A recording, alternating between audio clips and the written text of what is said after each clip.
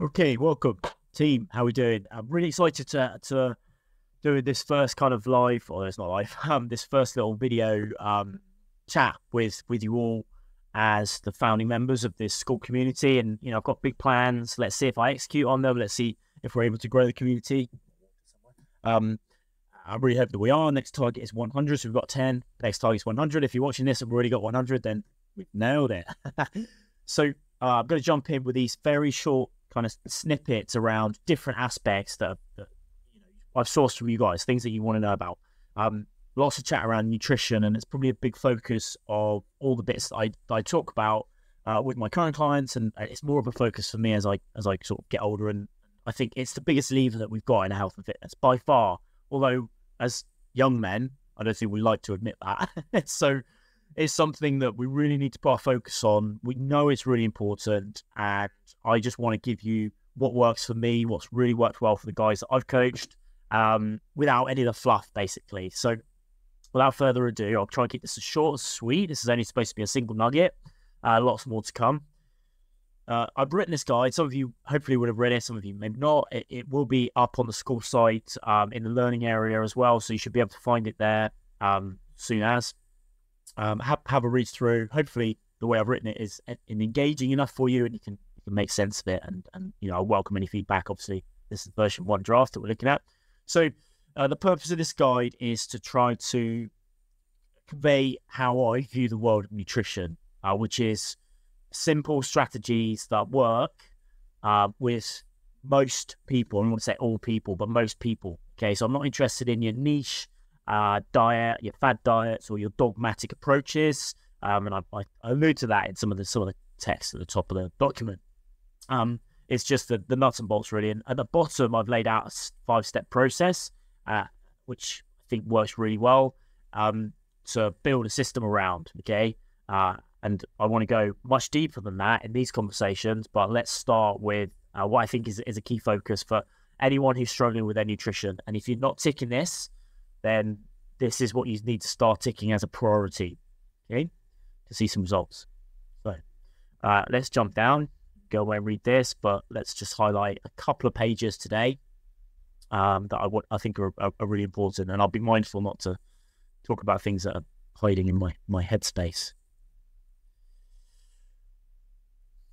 So I think probably should start here with this this section. So the science fundamentals one pager. So I think it's, it's probably just worth trying to convey some of these uh, complex systems that I've tried to simplify uh, down to you. So energy balance um, is about understanding how much we're spending in terms of energy, in terms of fueling our body and, and, allowing our, ourselves to produce enough energy so we're able to do the things that we want to do, uh, versus how much energy we're taking on board, how much food we're eating. So that that's where we are with that. Sounds pretty good pretty straightforward. And, and when people talk about calories, um, it's a measure of energy. Okay, it's, it's the amount of energy required to boil I think a liter of water, off the top of my head. So energy balance is, is, is one thing to think about. Satiety, I think, is another really important factor. If we can't allow ourselves to feel full, then I think we're always going to be fighting a massive psychological battle, uh, which we will lose hands down. Okay, because brain outthink us and outwit us, and we'll slide down a very slippery slope to wanting things because we're hungry all the time. Um, so that's again something to really, really think about. Um, uh, it's complex hormone uh, synthesis and, and, process that goes on in, in order to regulate hunger. Uh, one of the key things that I think is really, really important is volume of food is really uh, a, a, really good um, way to signal some of these satiety, some of these hunger signaling hormones to sort of tell your body that you are full. So, you know, the, the way that you can explain that is eating bulky, nutritionally dense food that are low energy, so low calorie food. And, you know, classically everyone says eat lots of fruit and veg. It ticks both those boxes. Okay. Um, won't talk about fiber today. I'll come on to that another session, but you know, we can eat bulky veg, bulky fruit. Uh, it's going to fill up our stomachs, which will make us feel less hungry, make us feel full. Actually, that's what we're trying to do. Okay. So that's again something to really think about. And I think it's something, it's a trap that I fall into, which is, you know, if I'm trying to diet down for whatever reason, then I'll, i you know, you, you just go to eating less.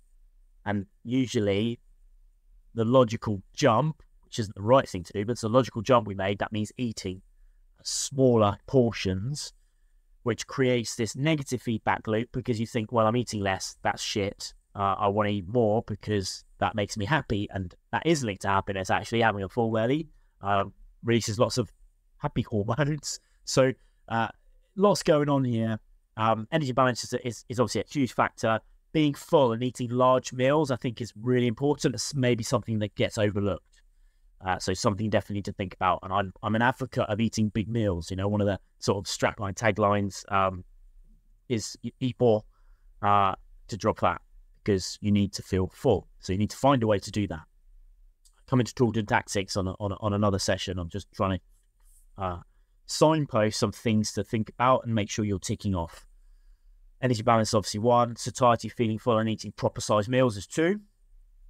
Uh, and the last one I wanted to touch on is something that you maybe haven't heard about, which is protein, right? Protein leverage theory. So uh, it's a theory that if you're not getting substantial protein, enough protein from a psychological perspective, not just a survival perspective, then you're going to try to fill up um, on any other food. So if we look at our big three food groups, we've got protein, carbohydrates, and fats.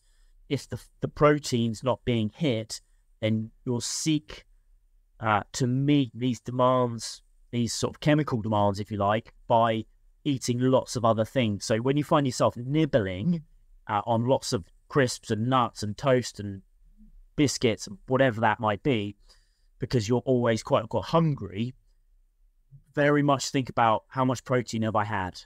Do I have I met my target for protein for the day? And that's a really good way to think about the tactics of it as well, which is start with protein. I'm going to hit some protein targets early on in the day before uh, the afternoon kicks in because that's a real sync time for me, and I start cracking open the biscuits or whatever's in the office, etc. So Protein Leverage Theory is kind of the, the, title from a scientific perspective, and go away and read about that if you want to. Um, I don't think it's necessary. Suffice to say, the best way to approach uh, feeling full, being full, and not seeking lots and lots of additional calories if you want to drop fat is to ensure you're hitting a protein target. Okay. Um, and try and do that as early on in the day as, as possible because then you're going to avoid this this negative feedback loop that the protein leverage theory or missing that protein, the component here is is going to give you. So if you're not if you're not doing it, then you're going to get full foul of that trap. Um, yeah. So that that's what I wanted to touch on there. So, um, you know, protein requirements are met, irrespective of calories, then we will seek to top up, top up, top up, top up, and you create a never-ending loop. And so, how much protein? Let's dive into that very, very quickly. I'm trying to keep this under 10 minutes. So, um, we'll we'll we'll dive into that. So, uh, personally, for a long, long time, I didn't get this right, and as soon as I started getting this right, as soon as I started getting adequate protein, I'll talk about what that is in a second. I really saw muscle gain um, from the training that I did, and I didn't see fat gain. Okay, so obviously, if you're growing your muscle, then you're going to look better anyway, which is the in, in lots of terms. But um, but you're not going to, you know, you can you can eat more protein without the risk of adding more fat. Again, that's another really powerful way to think about this.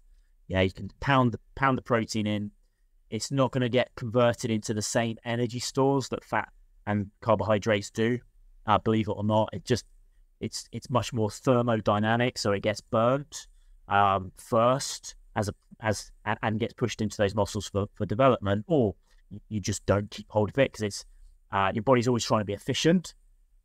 You know, mind, mindful. Uh, so your body's always trying to be efficient, and will store what's easy to store. Protein isn't easy to store. There is a mechanism for doing it, but it's not what the go-to one is. So uh, again, that's why you can eat lots and lots of protein, and you know, all good. So how much?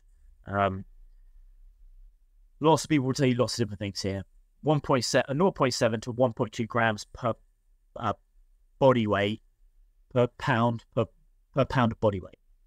mashed it up, which which equates to 1.6 to 2.6 grams per kilo. Now that sounds like a lot, um, and it's you know this rough rule that we hear in, in sort of the bro science world, which is one gram per pound, um, which actually it does work really well for most people. Um, if you have a lot of fat to lose, then you can moderate that protein uh, to then balance, keep keep your cal- calories down, although it's not too much of a concern. Um, and we can talk about that one to one if you want to. Uh, you can do that in your target weight.